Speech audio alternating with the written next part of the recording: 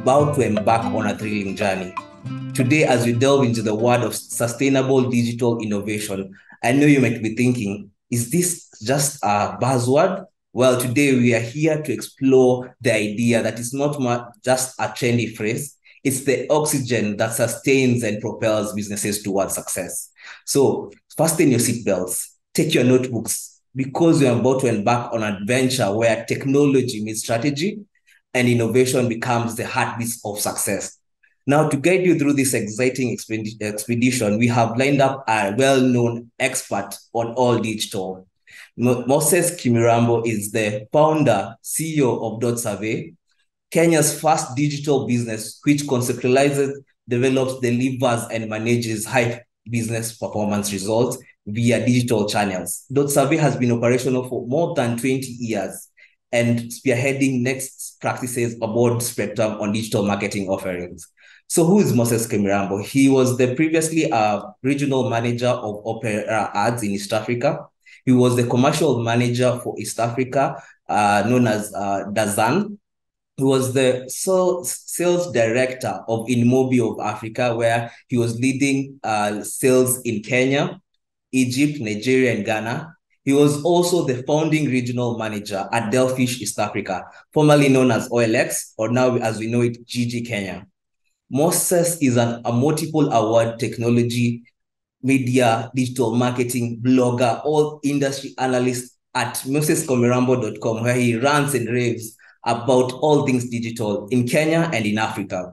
He's one of the most known regional leading uh, digital platform trainers, as well as a regular speaker and an industry panelist, and also com- contributes in uh, commentaries along leading media. So sit back, relax, get ready to unlock the power of sustainable digital innovation. So welcome, Moses. Yeah, welcome, and thank you so much, everyone, for joining us today during uh, your one o'clock uh, lunch break. I'm so delighted to be here and to share uh, insights and thoughts around uh, all things digital innovation and also transformation, as it were. A little bit about myself. I'm the founder and CEO of Dotsavvy, uh, one of the first digital business agencies in the country. And today we are now celebrating over 21 years in the business. I've also worked with Opera Ads, uh, thezonegold.com. Um, for many of the men who I'm sure on this call, uh, you've probably been to this website InMobi, uh, Dealfish, I also blog at moseskemibaro.com. I've been training people on digital marketing since 2005. And I'm also a very proud supporter of the best football club in the world, also known as Arsenal Football Club, who we know in 2024 will be winning and holding up the, the uh, Premier League Cup. So just wait for that moment for my team. Um, from this webinar, I hope that there are several things that you're going to achieve or see uh, that add value to what it is that you do. Number one, uh, hopefully, you'll understand the digital landscape a bit better, how it's relevant to your business, how you can create a digital transformation strategy that allows you to manage all your activities, uh, get uh, insights on how to develop content, publish and reach and convert target audiences through digital channels, and most importantly, measurement, what you like to call M&E, measurement and evaluation of whether you're able to achieve the desired results from your digital activities. Um, in order to get us going, I want us to go through several things, which is first of all, understanding the landscape as it were, locally and globally, how to develop your strategy, how to develop content that actually resonates with digital audiences, uh, social media, advertising, and possibly the hottest thing that's happening at the moment, which is AI, uh, where we can look at how businesses can leverage uh, the growing trend to do things through artificial intelligence. This is a quote from none other than Naguib Sawiris, a very successful businessman from Egypt who at one point owned a company called Orascom, one of the largest telecom companies in the world. And he was responsible at the time for making this quote, which was globalization is not a one way street. And I love this quote because it provides a foundation for us to realize that through digital, we don't have to think ourselves as being a Kenyan or East African business. We can be a global business, and meaning that we can be the ones engaging and reaching stakeholders globally through our various value propositions. So I think this is a call to action to see that you know it's not just about pushing uh, receiving things that are global but allowing ourselves to become global as businesses and as entities. For me probably the word that has become most uh, interesting in the last three to four years is this phrase digital transformation. And for me the most important takeaway from this is that as much as we're adopting digital channels and activities transformation isn't changing what we do but rather how we do what we do. And many of the things that i'm going to share with you are really about the current practices and the next practices that are going to allow us to be more successful and more um, uh, impactful as organizations uh, through our businesses. When we look at the, the digital landscape today, the biggest thing that we can see is that the COVID pandemic changed everything. In fact, we often refer to it as the COVID accelerated digital transformation, where many businesses and consumers changed how they do things because of COVID. We started working from home. We started uh, using things like social media in different ways. Uh, e-commerce became a way of life even here in Kenya. And we can see that through a digital transformation strategy, we can adopt some of these technologies and platforms to make our businesses successful. When we look at the global trends, you can see over here that over 5 billion people globally are now connected through mobile devices, equally so also on social media. And this tells us that there's great opportunity around using mobile and specifically uh, social media platforms to engage our stakeholders. We can also see on this slide that Facebook, as much as many people say it's for old people, remains the largest social media, uh, followed by the likes of YouTube. Again, surprising given that it's primarily a video platform, uh, WhatsApp, Instagram, WeChat, and yes, even TikTok, proving that it's one of the biggest platforms today. We can also see here that there's an interesting uh, perspective around how many people are connected in the country. Uh, according to this research, um, they're saying 11, almost 12 million people online. Uh, I dispute that number. I think there are many more people on social media in this country, and even more so when it comes to internet users who may not be on social media. Uh, I think that number is actually understated. When it comes to what we are doing on our internet phones, you can see that we're spending close to four hours a day in Kenya actually using our devices. And again, of that time, you can see that 95.9% of internet usage in the country comes through mobile devices. So whatever you're thinking of doing and engaging when it comes to your stakeholders, bear in mind that a disproportionate amount of our daytime is used on the mobile device and specifically uh, accessing things that are on the internet. We can also see from this page, again, is a very interesting trend, again, specific to Kenya. Um, 96.0% of people using uh, the internet on their phones are watching video content. And you can see the different types of content that they're consuming. Uh, again, this suggests that if you're going to have a digital strategy or transformation, video needs to be very much a part of it because we can see that that is what consumers are consuming the most. Over here, we can see how audio content is also becoming a big thing, especially when it comes to digital consumption. Um, listening to music streaming services, 36%, radio stations and so forth, 35%. Podcasts are now at at least 12%, and audiobooks at 15%. Again, if you're going to build a digital innovation or transformation strategy, you need to also be thinking about the fact that consumers are listening to a lot of things online. We can see here the most used social media platforms uh, when it comes to uh, how people are using these in Kenya.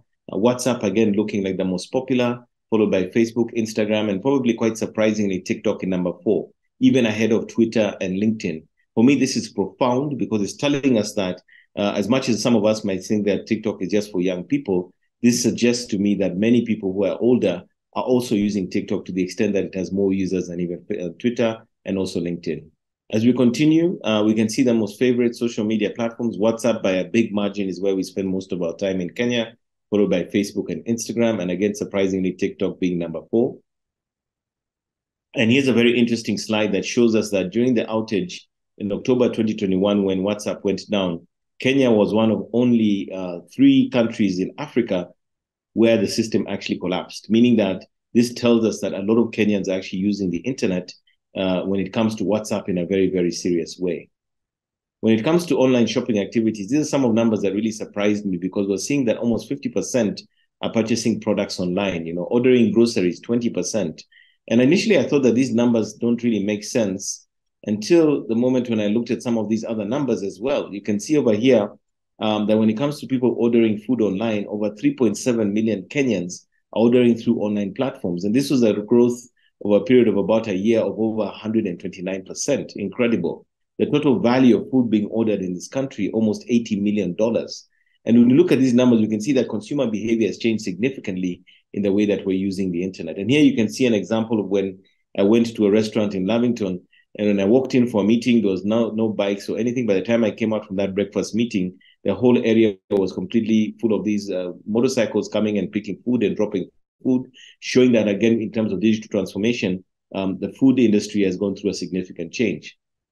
We can also see when it comes to consumer payments, Kenya is, after all, the home of M-Pesa. Uh, and again, here we can see that people are making an incredible number of digital payments uh, using digital channels. So when it comes to the new digital normal, what we know is that COVID-19 uh, COVID-19 changed everything. Digital innovation has become a significant enabler for business optimization, meaning that we can be more efficient, more cost effective, reach more consumers, and all the various benefits that come from that. Social distancing has changed our behavior. In fact, many of us are still working remotely or doing some kind of hybrid model. Uh, strategic partnerships are key. Like you can see in the food sector, many of these restaurants are partnering with the likes of Glovo, Uber, and so forth to achieve what they do. And strategic investment in enhanced operations is also critical. We can also see that when it comes to digital versus traditional media, digital has a lot of key benefits compared to other channels. For instance, the richness of the media is very high. It's super interactive. We can be very precise with targeting, you know, almost surgical precision to reach the right audience at the right time with the right message. Investment with content is low. Excuse me. And also measurability tends to be very high. But most importantly, when you're using digital versus traditional methods, the return on investment generally is very high. It's also important to understand the customer journey in terms of how they become aware of our brand or business, what makes them convert in terms of becoming a customer, and most importantly, what are the key drivers that retain them on our brand, our services, and products after experiencing it for the first time? We need to understand how these customers come to us. So, do they see our advertising? Perhaps they use our apps, maybe our corporate website, our email, or social media. They engage with our platforms, they consume our content, and ultimately, whether it's online or offline, that leads to a transaction, which in many terms we also call a conversion. And that digital engagement is super key in terms of how you're able to engage your stakeholders, ultimately getting them to become your customers. It's also key to understand the conversion funnel, which is how, again, they become aware of us, whether it's through social media, engaging with us, converting, and ultimately building that retention over time. So, again, it's very key that even as we acquire customers on digital channels, how do we ensure that we retain them for the long term? Digital privacy has also become a major issue. I'm sure over the last few months, you have seen many of you uh, many businesses are now being fined by the Office of the Data Protection Commissioner for violating uh, privacy uh, related uh, situations. And specifically, the Kenya Data Privacy Act that came into effect in 2019 is now fully operational. And basically, if you're going to do good digital, you need to make sure that you pay attention to the risks inherent in violating any of the data uh, privacy laws. We can see again when it comes to consumer sentiment or behavior around privacy, uh, that many Kenyans, up to 75% here, are saying that they are concerned about uh, what is fake or real. Uh, 35%, almost 36% are saying they're concerned about how their data is used. Uh, many are declining cookies, which is a way of tracking them online. And we can see that data privacy is a major consideration for consumers. We're also seeing there's a new dispensation coming into the space where we're talking about what we call first party data. Many of the platforms, including Apple and Google today, are restricting how much you can use customer data on their platforms, requiring organizations to invest in getting first party data. First party data just means I have your phone number, your email, your you know, location, and so forth, but not necessarily sitting on these platforms, but sourced with consent directly from consumers. So the three things I think that are most important when we look at the landscape, number one, content is all about digital transformation and mobile first content is critical. Users are mobile and social, so we need to factor that into everything that we do. And we're seeing a major transition happening where there's affordable smartphones and fast internet, not just in Kenya, but across the continent, that's driving this digital transformation across the board. When it comes to building a strategy for your digital transformation or innovation, there's several things we need to consider. We need to understand as a business organization what are our objectives? What are we trying to achieve? Are we trying to save costs? Are we trying to increase sales? Are we trying to be more operationally efficient through automation? What are the goals for each objective? What are the key performance indicators that we're aiming for? And what are those targets therefore what are the channels we're going to focus on? Do we go on every social media? Do we go on every capability or just some of them? And most importantly what are the critical success factors? What do our people need to know that they don't currently know? What skills do they need? And what platforms do we need to implement to achieve these? And most importantly as you achieve results you're able to analyze monitor and see what's actually working or not working. The framework of choice which is something that many organizations are using is called SOSTAC. And SOSTAC is a fantastic strategy because the first thing you do is you need to look at your situation analysis, understand where you are today, look at your objectives and see where you want to go, look at the key steps of how you're going to achieve it, then think about the tactics, which are the specifics of your strategy, the actions that are going to then drive your tactics, but most importantly, again, controls in terms of monitoring and evaluation. And if you follow all these six steps through SOSTAC, The idea is that this then underpins any sort of digital transformation or innovation strategy that you're looking at developing for your business. When it comes to the area of content, what we know for a fact today is content in the forms of video, text, blogs, webinars, and so forth has become a key defining factor to how your brand or business is represented online to your various stakeholders. This means that many organizations, especially during and post pandemic, had invested in content creation capabilities in house, facilities, technologies, and so forth. To the extent that in many organizations now, you'll actually find in house studios. They're creating their own podcasts, shooting their own videos without necessarily using an external capability. And the reason for that is that if the content is coming from source and there's enough of a volume and high quality of content, that in itself becomes part of the innovation that you can bring in terms of your brand being seen and engaged in the right way. And why is this critical? The content in the digital context, it brings to life who you are and why you do what you do as a business, organization. It helps you connect to your target audiences in a very personalized and authentic way. And it builds relationships in a more relatable and contextually relevant manner. To put this more accurately, um, the first step here is really that brands, organizations are reaching a point that rather than owning or renting media, they become the media. That means that people are engaging and consuming your content, just like we're doing today with the Springboard event. This webinar in itself is a form of media in the way that their brand is engaging with stakeholders. Number two, it becomes a key way of attracting and retaining customers via your digital channels. And ultimately, what it does, it allows you to, as a brand, to create and curate content to enhance or change consumer behavior around the products or services that you offer in the marketplace. And this for me is huge because if you can stop being the distraction as an organization or a brand and become the destination on digital platforms, then you can win the customer without having to be a sideshow by becoming the main show. We also see that when content is effective, it's tightly focused on existing and intended audiences. It's content that's helpful, useful, and valuable it can also be entertaining content, of which I'll show you some examples shortly, but also content that is woven within storytelling. Storytelling being one of the most powerful devices for cutting through the noise and connecting with relevant audiences. Again, when it comes to content and marketing, you want to make sure you develop value added content, whether it's infographics, white papers, videos, podcasts, and so forth. Put it onto the relevant digital platforms, listen to what they're saying and engaging, and then going back into the cycle with those insights, then you can create content that actually resonates with your stakeholders.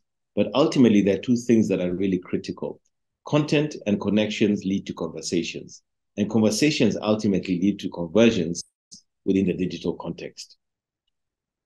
If we break down this a little bit further, we need to understand, therefore, what kind of content actually works.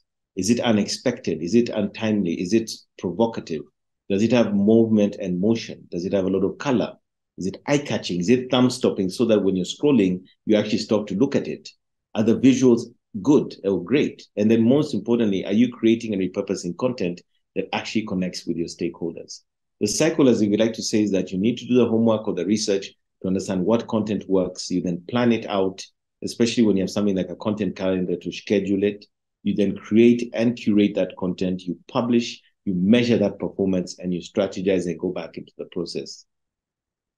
If we look at the key considerations around what makes great digital content today, we can see that calendars are important in terms of when you plan them monthly to monthly to weekly basis, what kind of content you publish, the content that you're going to create or share across your platforms, and also scheduling that content to be published when your audience is most active online. At the heart of it, the best content has an element of storytelling. So whether it's publishing on social media, whether it's being found on search engines or engaging community, you want to make it at the heart really about storytelling. So here are some examples, in my opinion, that represent great content. This was an instance on a Saturday morning, and KCB decided to post this thing, which is a, basically a meme, and they're basically giving a shout out to Coop Bank and basically making fun of them.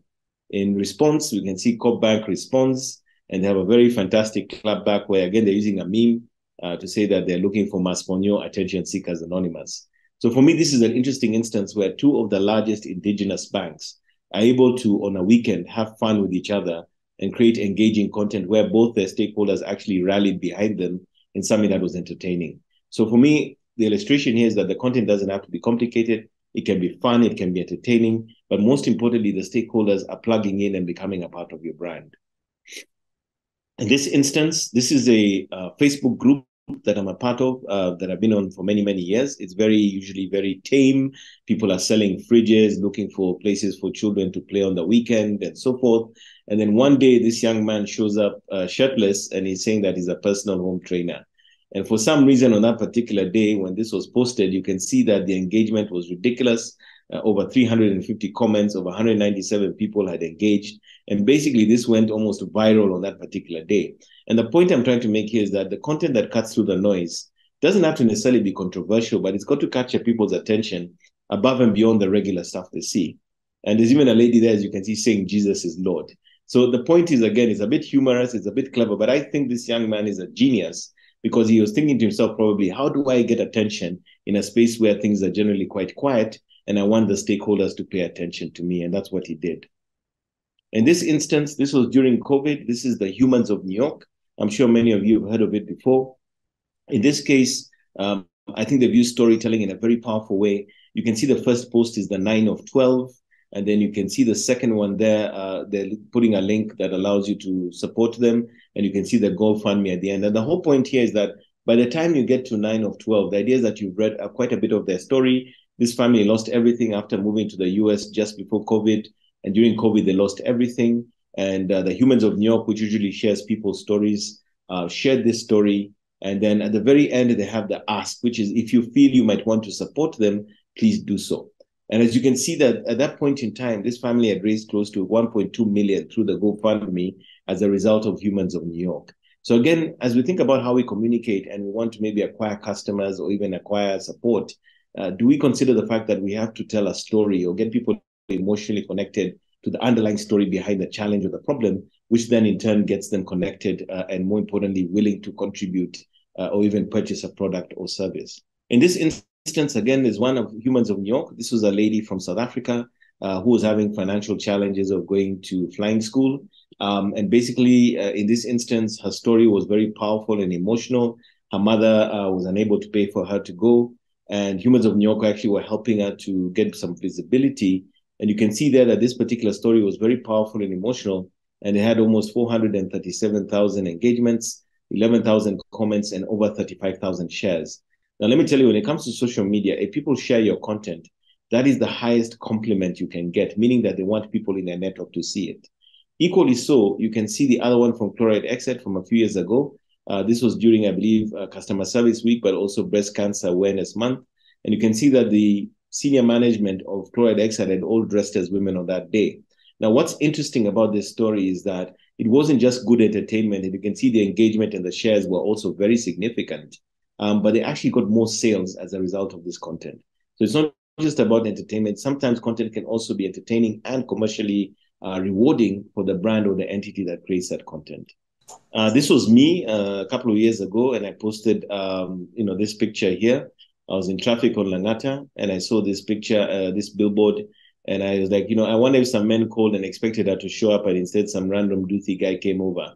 I had no expectations. I did this post in less than three or five minutes, and you can see that I got 71 retweets, over 152 likes, and uh, nine quote tweets. At the time, this was my most successful tweet. And just goes to show you that content can perform really well, even if it's not particularly fancy, uh, just because it's something that resonates with your stakeholders. Now, what other content performs really well in general? You want to make sure your content is highly visual. That means a lot of images, a lot of videos, and even emoji, because that's how people relate to content much these days. We also see from Cisco that when it comes to consumer internet today, over 85% of internet traffic is dedicated to video. So again, this is a very powerful statement or data point because it's telling us that the majority of consumers would rather watch a video than actually read your content. Okay. So this is significant because it means then you got to ask yourself in your digital innovation, are you creating enough video content? Remember, even a webinar like this is video. But just think about that very deeply and see whether you're actually doing the stuff that is going to get you the right engagement. We also see that content has to be platform specific, meaning that whether you're using Facebook, LinkedIn, Twitter, Instagram, and so forth, are you putting the images in the right dimensions, Are the videos of the right length, and so forth? Basically each platform has its own unique uh, content uh, peculiarities, and you need to make sure that your content adheres or is aligned to those particular details. You also see that today, a lot of the content that people are consuming online is what we call short form, meaning that nobody's going to read on their phone long, uh, elaborate content. So we say keep it simple, or TLDR means too long, didn't read. So make sure that you also consider using uh, short form content. Another thing that has also changed in recent years is the amount of time it takes to get the attention. Basically, saying if your content does not make a connection with your target audience in three seconds, then it's unlikely your brand is going to connect with them. So, very much in the very first instance, within three seconds, you need to make your content snackable. And these are trends that have been driven by the likes of TikTok, by the likes of Instagram Reels, and so forth, where within a matter of seconds, you have sort of seen or understood what's being said, which then compels you to consume the rest of it. So three seconds is all we have. It used to be five seconds. Um, we also see the need for content calendars, something that allows you to schedule and plan your content on a weekly or monthly basis. This is really key if you're going to do your content in an effective way.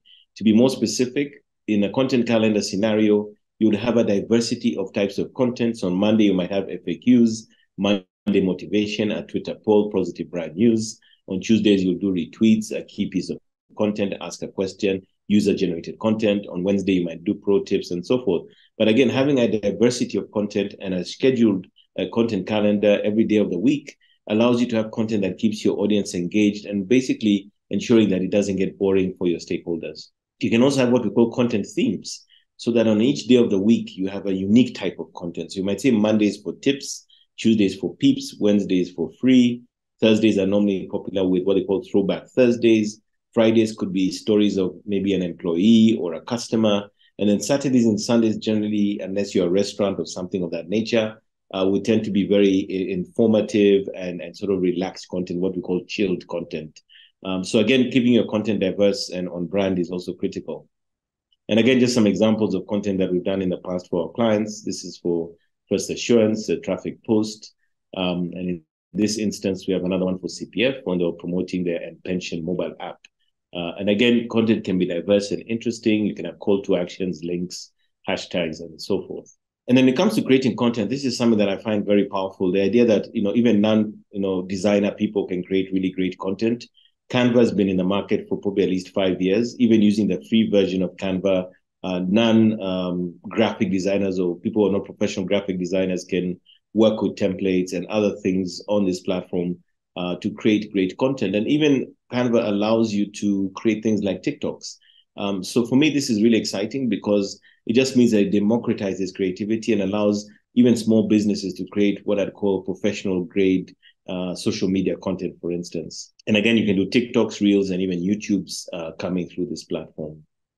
Um, other key considerations around content, it's about engagement. Uh, it has to be tailored for your audience. Focus on the what, who, and how your content will be used. And then also optimize your social media content across the different platforms so that it's the right dimensions the right durations to get uh, people connected to you. When it comes to social media, um, these are the platforms that matter the most. Uh, the one in yellow being Snapchat is one I'm still trying to figure out. I'm very proud to have learned how to use TikTok, and I've even had a couple of TikToks go viral. Um, but ultimately, this is the space where we're playing in terms of the platforms of choice.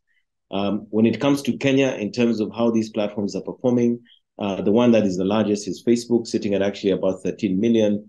Uh, YouTube is 6 million people having accounts, but around 15 to 20 million who actually use it to consume content. Uh, TikTok is the one that's been exploding over the last two years, you know, Instagram and Twitter and so forth.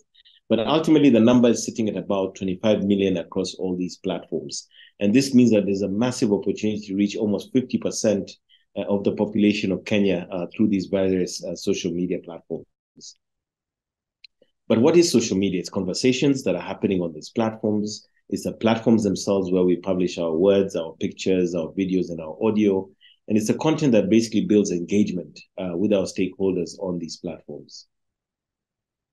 And social media really has exploded in the last few years, especially during and beyond the pandemic for entertainment, information, conversations, and even e-commerce. There's many young people today, for instance, who are selling millions of shillings of product using Instagram. And TikTok in particular has become super popular with younger people, as well as conversations around social audio using platforms like Clubhouse and uh, Twitter Spaces. And what is the typical workflow? If you're going to do social media effectively, you need to think about the two phases of acquisition and retention. You start off by listening to what people are saying on social media, whether it's about your brand or your competitors' brands, understand the tone, understand the issues, and only then do you use that insight to create content that's going to engage your stakeholders once they start engaging with your content, you then have the opportunity for them to actually become advocates for your brand. So going through the steps of listen, create, engage, and transform is how you can then have the most successful or effective uh, social media approach. I wanted to point this out very specifically that one of the most powerful tools you can use for social media management is Meta Business Suite. This is 100% free. And if you have Facebook and um, um, Instagram pages, you can use it for free to manage and schedule your posts and make sure you get the most out of it. In addition to that, Meta Business Suite also allows you to connect to your WhatsApp account. So three different social media platforms can run off one dashboard. And again, it works on mobile and desktop, you know, common inbox. You can create ads, you can track insights, and insights are everything when it comes to managing your digital performance see activities, and also access additional tools through the same. This again is an illustration of the professional version of Instagram. Not everyone uh, switches to the professional version for their Instagram accounts. This is again critical uh, because as you can see, it gives you things like the professional dashboard and additional features uh, that you don't get in the personal edition. So make sure that again, as a business, you are always on the professional version and then connect it to Meta Business Suite so that you can have one dashboard for connecting to your platforms. Um, I've shown Instagram Reels in particular because, again, this is something that uh, was started by Facebook to compete uh, directly, or rather, Meta to compete directly with TikTok. And these are the shorter videos uh, that today I think go up to 30 seconds or three minutes. Um, and more importantly, Instagram Reels is where there's a lot of attention today on the algorithm. So basically, the point being that if you want to make sure you're getting engagement, focus on Instagram Reels today focus on TikTok because that's where a lot of the younger consumers and increasingly even the more mainstream are consuming content. And in some cases, even using it as a replacement for Netflix. And also, of course, YouTube Shorts. When the biggest social media or digital platforms are competing, by extension, that means that this particular type of content is going to perform the best on that platform. So if you're on YouTube, that's great, but make sure you're creating more YouTube Shorts. If you're doing Instagram, make sure you're doing Reels. And of course, TikTok in itself already has so much mileage and traction. Uh, you want to make sure you have a presence there. We also see the rise of social audio, where it's possible for you to create uh, content of an audio nature. Uh, in particular, we see Twitter Spaces being the most popular platform in Kenya today. A lot of conversations happening there, and many brands are using this uh, to engage their existing and prospective customers. We also see podcasts have become a very significant thing, as I showed you in the, in the statistics. And many brands are now starting to create their own podcasts where they're having conversations around a diverse range of topics that are relevant to their stakeholders. To create a, a, a podcast is very simple using something called Spotify for podcasters. It's 100% free. And when you create it, it means that your podcast is available on Spotify, on Apple Podcasts, and also any other major podcasting platform. Another key area of importance today is influencer marketing because, again, they give us reach. They also create original content and in many cases, consumer trust. This is an area of social media that we cannot ignore. And influencers really do matter because, as you can see here from some research, um, they have been known to generate as much as five times the return on investment for every dollar spent. So, again, um, choosing the right influencer is critical. Um, going back to my love of Arsenal, you can see this was a moment when Danny Welbeck scored a magnificent goal. And when he went to the corner, he then did the sprinkling thing where he was copying Salt Bae. And it just shows you in the real world how people mimic or copy or follow what influencers do in the real world. And why does this matter? An organization is no longer what it tells the community it is, it is what the community tell each other it is. And to look at this dynamic in a more specific way where influencers are concerned, at the bottom, it's you talking about your organization. You engage influencers who start talking about your organization. And the end of it, others start talking about your organization. So the goal is to move from talking about it yourself and getting the whole world to speak about your organization, your brands, your products, and your services. When you're looking to work with influencers, there are four key steps that you need to follow. Number one, choose the right influencers, those who resonate with your target audience. This is not always the one who has 100,000 or million followers. It could even be one that has as little as maybe 20 or 30 followers, but within that community, they have a great deal of influence who in turn can actually buy your product or service. Number two, the best influencers have become popular because of their storytelling narrative. People love what they say, how they produce their videos, the content they write, on and on and on. And the idea is that you want to tap into that storytelling to make you more successful. If you tell an influencer to do exactly what you want them to do, then it's unlikely that that is going to perform well. Um, you want to give them creative license, which means trusting them, knowing what they're doing. Uh, again, this requires some level of understanding who you're working with, meaning that you need to also do the homework to make sure that um, this is the right fit for us and there's no history of doing dubious content. And lastly, partner with influencers who have a reputation or a good track record of doing content that works for other brands. This is an influencer platform where you can see uh, we're able to sift through the number of influencers available in Kenya, uh, specifically their combined reach. We can also see their ranking. Um, in this other slide, you can see their scoring. Some of them are five stars, some are two star. And this is kind of powerful because in some instances, one may not have as many followers, but you'll notice that they're five stars, meaning that whoever's used them for campaigns on that platform has rated them very highly. However, in other instances, you will see that they're not as popular or as successful as the others. Um, going a step further, one of the most popular influencer platforms today in the country is Wowzi. Wowzi is actually a Kenyan company that started providing a localized platform. They have a lot of depth in terms of the types of influencers they offer, including what we call nano influencers, people who have maybe a handful of followers, all the way to the ones who have millions. And the beauty about that is, depending on your budget and your ability to invest, you can choose the right influencers for your brand, your business, your campaign on their platform with a very, very local flavor. Of course, you also have other international platforms like Klear, uh, which allows you then to also reach a more global platform uh, that can give you influencers in other markets above and beyond Kenya. We also see that social media analytics is incredibly important in terms of understanding the performance of social media the majority of platforms have some sort of social media analytics built in. So again, you want to make sure that you're using this to kind of help you understand what's working, what's not working, and more importantly, that supports your data-driven decision making to see how you can optimize and improve your social media performance. We now come to advertising, and again, advertising on digital platforms has become incredibly powerful. You can target based on data, behavior, we can look at where people are in terms of location, the content they're consuming, their professional profiles, uh, and so forth. And this is beautiful because what it allows you to do is really optimize your spend to get the best return on investment when you're using digital advertising platforms. So you can target, for instance, by the time of day. So if you know that your product is relevant in the mornings, that is maybe where you run your ads. So let's say you're a restaurant with a breakfast offer, then you'd only run your ads. Then you can target by geography in many platforms like Facebook, we can even target down to as little as 100, uh, one kilometer radius from a place. Uh, you can target by the mobile network. So maybe your product or your proposition requires somebody to use M-Pesa. So you could say that we're going to leave it just on Safaricom.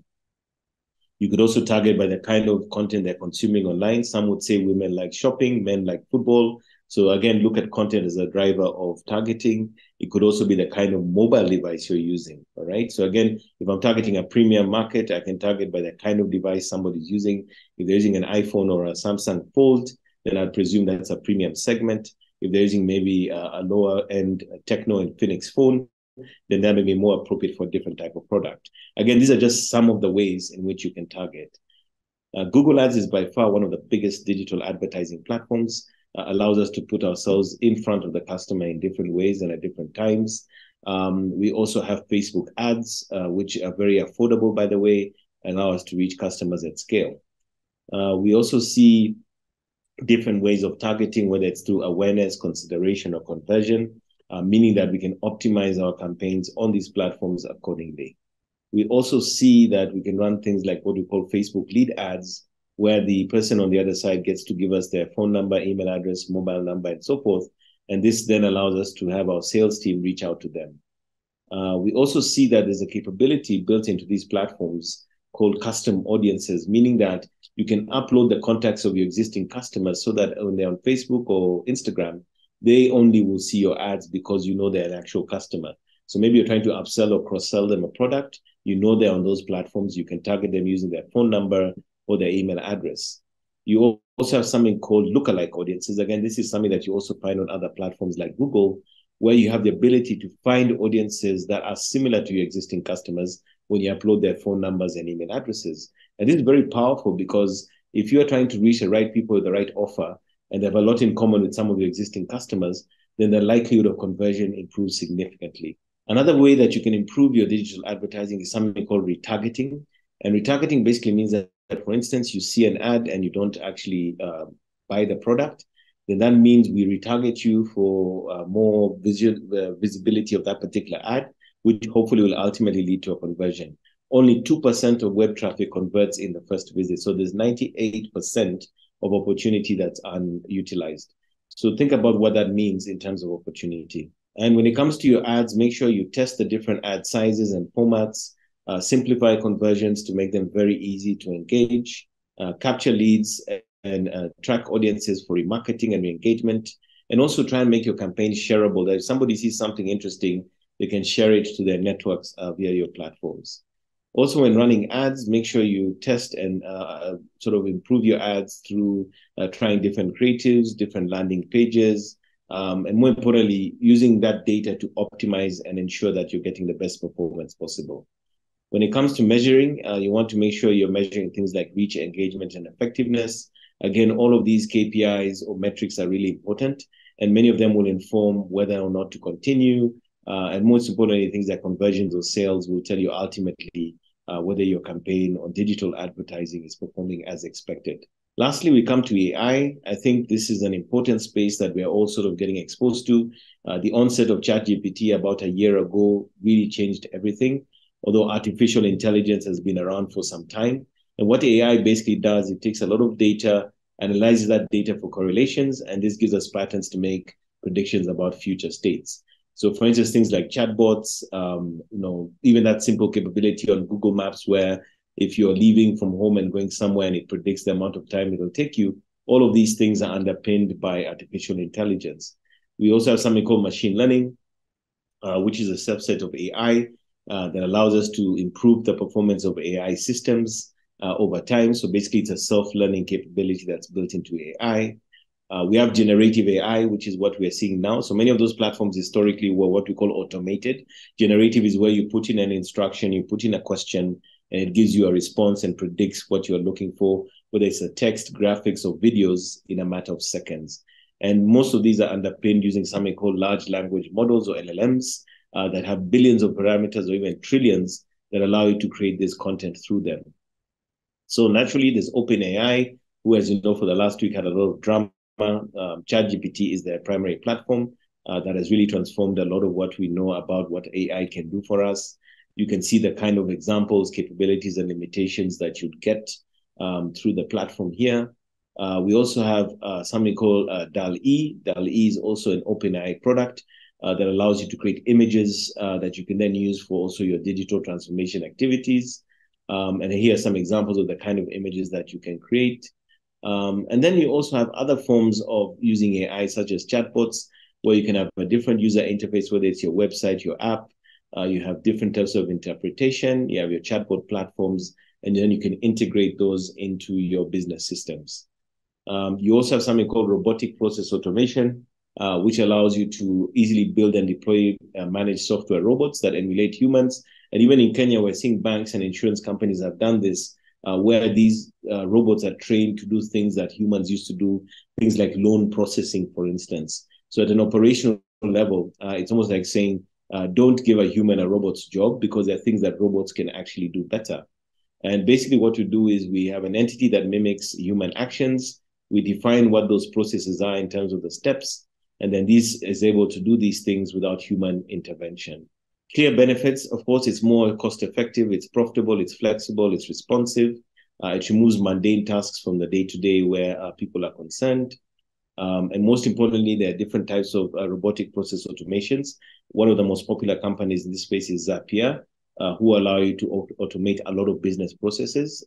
Uh, we have another called UiPath uh, that also provides a robotic process automation platform.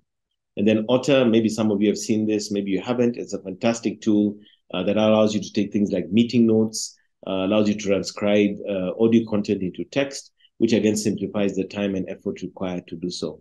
So, what are the five things that matter the most? One, social media is key for your digital innovation because that's where the majority of internet consumption happens. Number two, mobile is everything because that is the primary interface or device that most people are using. Content is key for driving conversions and conversations online. Uh, video and visual content is what people are consuming the most. So don't fight that trend. Make sure you ride it. And again, video can be webinars, can be TikToks, you know, all that is video. And of course, user experience, whether it's your website, your mobile app, make sure um, that your user experience is fantastic. And as always, we like to say that, you know, when it comes to content, um, even today, most people are using things like emojis. And that means you need to learn the dialect of the day, which is in this case, the emojis that you saw there were actually spelling out good morning. And lastly, I like quotes, and this is Wayne Gretzky, considered to be one of the best ever ice hockey players in the world. And people always wondered why was he able to score so many goals? And his answer was, I skate to where the puck is going to be, not where it has been. And the point here being that if you're going to be successful in digital transformation or digital innovation, um, don't necessarily look at where things are already, but start to think about where things are going in the future and some of the things that I've shared with you, and start to understand and see how you can start to apply uh, the things that are going to be definitely part of the future so that rather than going to where they are, you predict where they're going to be and then you plan to be there when that trend or that new way of doing things becomes the norm. Thank you very much. At this point in wow. time, I'd be happy to answer any questions. Thank you so much, Moses. That has been a very insightful session. I think we've all become digital marketers in a span of one hour. We've got all the information we need to go online, start marketing our businesses. And some of, before we go into the questions, I'll, I'll, just highlight some of the take homes that I've seen that uh, how all of us spend like four hours on our phones and we can be able to target up to 25 million in Kenya right now who are always online. And something that you've also highlighted is the storytelling. And whenever we post things online, make sure we are having a story that is engaging, captivating, and content that is uh, engaging that will uh, drive people to your business. So also, uh, we've seen how YouTube uh, Shorts, Instagram Reels, TikTok has been trending, and we've seen how influencers are actually utilizing those platforms to get people to uh, buying into uh, clients' products and such. So this has been an insightful session. So we have a lot of questions that are coming in the, the chat box. So let's start with number one. We have a question from Lucy um, he was asking, in what ways can business involve their employees in the process of digital information, and how does it contribute to the overall success? I think digital innovation uh, or even transformation is not something that happens, you know, only on IT or only in the leadership side of things. I think it's across the organization. So that means when you're developing your digital transformation strategy, bring all the pillars into that process, whether it's people of HR, uh, people of procurement, uh, people of marketing, people of uh, IT, and so forth, so that it's a holistic process. So when you're looking at innovation, it's not just about, let's say, building e-commerce. It's not just about building one thing. It's about everything. And then when you're able to develop your strategy from that point of view, it's not only holistic and inclusive, but it also means that your stakeholders can also have that buy-in and the fact that this is going to have key benefits uh, for the organization. Wow, that's an insightful answer. I think we all uh, need to involve our people inside uh, our organization so that we can help us, the businesses grow. We have another question about uh, are there specific key performance indicators that businesses should focus on when evaluating the impact and digital innovation on sustainability? This is from Brian. Yes, I think there's several things that you need to consider. One is obviously when you think about your KPIs, you know, how are you actually achieving them? Um, so case in point would be if you're looking at say sales, you know, as a measure of uh, success, maybe you are looking to double, triple, or quadruple your sales versus traditional channels. How are you doing that? But also, when you think about the sustainability component, maybe when you're doing an e commerce transaction, the cost and the operational elements of doing so might be significantly cheaper than doing it in a more traditional way. And I think measuring the impact, measuring the outcomes, whether it's in terms of efficiencies, uh, whether it's in terms of sales, uh, whether it's also in terms of maybe allowing you to redeploy people to other operational functions that can be run by, let's say, a robot using robotic process automation, that in turn itself, you can have a measure of sustainability because you can then see how much you're saving, how much less you're using in terms of resources, and how you're still allowing you to not just achieve, but even exceed current performance, yet at the same time doing it in an efficient way. Interesting. Uh, so let's use the minimum resources to try and reach out to a lot of people as as much as we can, so that we can have a better ROI on our digital uh, targets and measurements tools that we have. So the other question we've had is from Jacqueline asking about what organization changes are typically required for technology innovation to move from a supportive function to a strategic pillar. That's a very interesting question it's so interesting. But I'm, I'm actually in Diani uh, at the CIO conference. This has been a big part of our debates during this conference. And uh, what you'll find is that the biggest conversation here is that technology needs to move away from being seen as a IT thing to being a C level thing. So that means at the exco level, you need to make sure that the people leading the technology function in the organization are in that room when those strategic plans and decisions are being made. Number two, technology is not um, a cost center. It can actually be even a profit center, but also technology is a cross-cutting thing. It can help procurement, it can help sales, it can help HR across the board. So making sure that this is a C-level conversation and is being discussed at the onset of strategy and planning as opposed to the tail end as a cost center is something that needs to happen. And unfortunately, till today, we are finding that there's a lot of gaps between the leadership and also how they perceive the IT function versus looking at it as actually central to everything that sits within the overall strategy of the organization. So at that point, we're moving away from saying digital or transformation strategy. We're looking at actually the business strategy itself with technology embedded at the core. So you've had marketers and business owners. Please engage uh, uh, your decision makers to have the technology or uh, people who are making decisions about technology in the boardrooms, as we say. Uh, then we will talk, have people talking about how it's insightful content. We have Zulu One also talking about what are common challenges business sales face when they're trying to get employees on board with digital innovations and how can effective change management strategies address these challenges so this again is a conversation we've been having here in Diani. And the issue is that you can deploy all the latest and greatest tools, but people may not actually want to use them. And I remember talking to a CIO manager yesterday where they said that they actually withdrew the paper uh, driven processes and they had no option in that organization but use the digital workflow. Otherwise, it was not going to be adopted because the habit in that organization was very much a paper uh, driven process. So, in terms to get people on board, like I mentioned earlier, they need to be part of the creation or the formulation of these new digital innovations or transformations. And number two, to onboard the teams, meaning that you basically have to make the previous process subordinate or eliminate it completely and say that the only way that this happened is if it happened on the system. And that's how things like ERPs, CRMs, and even to some extent, even customer facing tools today work. If you think about how we all adopted e-citizen, we didn't have a choice. You cannot get your driver's license unless you go through that. So I think it's got to be almost that thing of either it's this way or there's no way. All right. Like we used to have a system in sales in another organization, and we said if you did not report it on Salesforce, then the sale did not happen. All right. So it needs to be one of those mission critical things where it didn't exist or didn't happen unless it's on the platform. But most importantly, at the onset or inception of this process, make sure the team is part of it.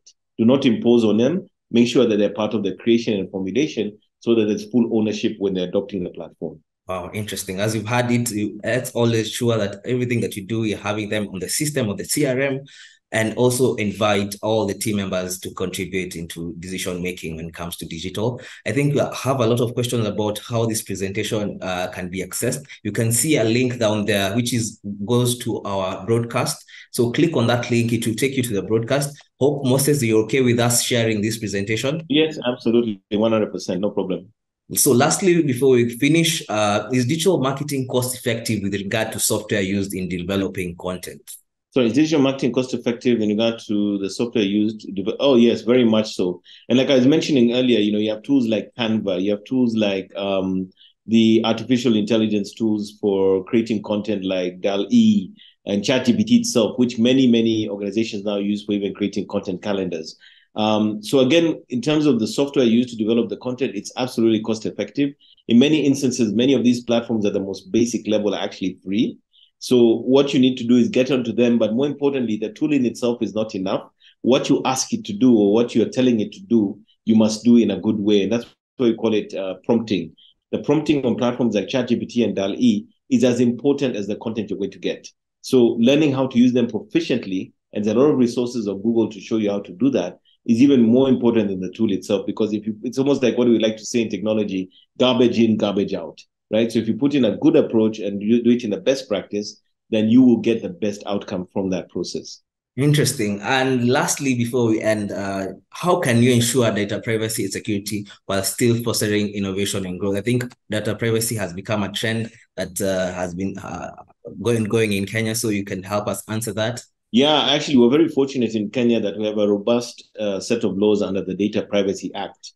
And we have an entity that deals with uh, data or digital privacy, which is the Office of the Data Protection Commissioner. My recommendation today, no matter what size of business you are, make sure you register either as a data controller or a data processor with the Office of the Data uh, Protection Commissioner. That's step number one. Why?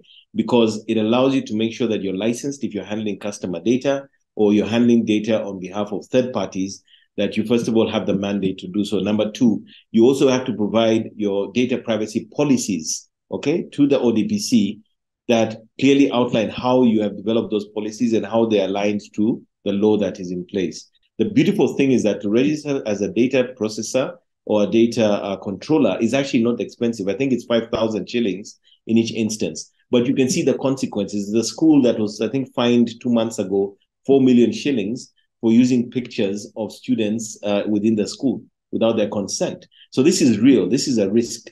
But I would say the first step is make sure you're compliant, get registered with ODPC, and also make sure you have documented and clearly defined uh, data privacy policies within the organization that your entire workforce is aware of so they know where and when not, not to have data. So even, for instance, in some events I've attended recently, before even you, att- you enter the, the room, uh, the, you have to sign a consent form to confirm that you're okay with your data and your photos being used. Or before you enter the room, you have to fill an online form and show consent that if your pictures or any of that information is used in the public space, that you're okay with it.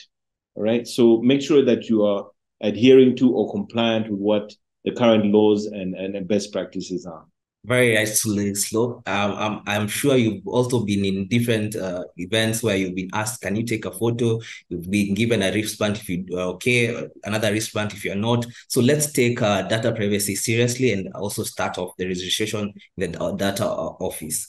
So um, I'd like, Moses, you give us a brief the, uh, description about who Dotsavvy is yourself and how we can reach out to you for any of your services. Oh, thank you so much for that. So Dotsavvy is a uh, digital business agency. We started the company uh, back in the year 2002. So we've been around now for 21 years. Uh, at the very early days, we were primarily focused on building and managing websites for our clients. Uh, in later years, we also started doing social media and content across the board for our clients. And in that time, we've also expanded the scope of our services uh, to do more digital products, everything from video to animations, uh, to building things like mobile apps, uh, to doing even some of these robotic process automations, lead management, digital advertising, and so forth. And the main thing that we pride ourselves on is we call it high performance digital marketing, meaning that we are not just creating content and being present online. We always want to ensure that from a data driven perspective, our clients can see an ROI. And ROI is not always just about sales. It can be things like your brand sentiment. It can be growing your profiles can be maybe how you engage your clients on customer experience and so forth. But we always want to ensure that across our digital propositions, uh, that our clients see a significant impact to the bottom line, but also other softer targets and KPIs that ultimately make sure that their business performs well in the digital space. Thank you so much. I think now you can see the screen being projected and how you can reach out to Moses. And uh, we'll come to the end of this webinar. So I'll talk a brief, briefly about Springboard Capital and who we are. Springboard Capital is a microfinance, and we've been there for the last 10 over years, and we've been transforming lives and offering financial services to individuals, businesses for the for those past decade. And if you need money, we are here to serve your needs. Go to our website, go to our social media platforms, go to the near town near you. There's a branch and a satellite there. Reach out to us on any of your preferred social media channels. So thank you so much, everyone, for tuning in. And we hope you've gone into the broadcast and put in your name so that we can reach out to you and share the presentation with, with you. Uh, thank you so much. See you next month on the last Friday of the month. Goodbye.